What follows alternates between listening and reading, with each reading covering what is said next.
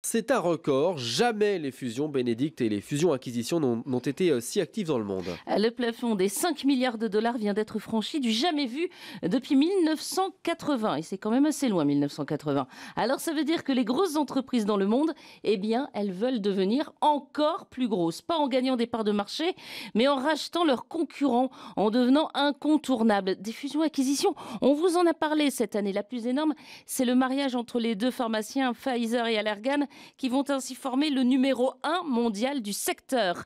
Il y a eu aussi la bière avec le rapprochement entre AB InBev et SAB Miller, et puis Shell, le pétrolier, qui a racheté un autre pétrolier. Tout ça, ça se fait donc à coût de milliards de dollars. Elles ont donc de l'argent, ces entreprises Alors peut-être pas dans leur caisse, mais elles ont décidé d'emprunter, de faire un prêt pour acheter leurs concurrents. Et les grands ordonnateurs mondiaux les y encouragent. Jamais l'argent n'a été aussi peu cher.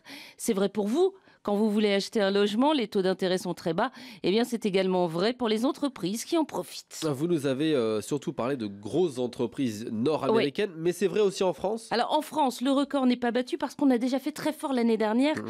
avec le rapprochement entre les cimentiers Lafarge et Holcim ou encore avec le rachat de Alstom Energy par General Electric. Mais nous ne sommes pas à la traîne. Les hôtels Accor viennent de s'emparer d'une chaîne d'hôtellerie de luxe aux États-Unis. Air Liquide, Vinci aussi ont annoncé des rachats.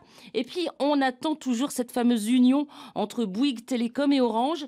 Les bruits courts, les négociations ont l'air de se dérouler discrètement, mais ça pourrait se faire l'année prochaine. Autre Français surveillé, bien sûr, Patrick Drahi, le champion en lice, euh, le patron d'Altis, a multiplié dernièrement les acquisitions. C'est donc un, signe de bonne santé, ce record de fusion-acquisition? Ah bah, En tout cas, c'est vrai qu'il y a de l'argent, que les investisseurs cherchent à le placer, cet argent, avec, on l'a vu, des taux d'intérêt faibles. Le pétrole, lui aussi, est bas, ce qui est bon pour la consommation des ménages. En Europe, on ne parle plus du démantèlement de la zone euro. Alors oui, la confiance est revenue, mais je vais quand même terminer avec deux petits éléments qui me chiffonnent.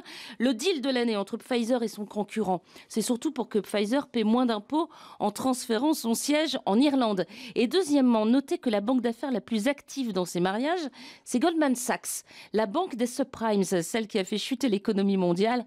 Alors un peu de prudence quand même. Votre note du jour maintenant. 15 sur 20, Jeff Bezos, le patron d'Amazon fait un bond spectaculaire dans le palmarès des super riches, celui des milliardaires. Il passe de la 16e à la 4e place dans le classement Bloomberg grâce à l'envolée en bourse de son entreprise. La bourse qui a fait quelques frayeurs au premier, Carlos Slim, Bill Gates, Warren Buffett. Ces derniers ont perdu quelques milliards de dollars, mais rassurez-vous, rien qui ne les empêche de dormir.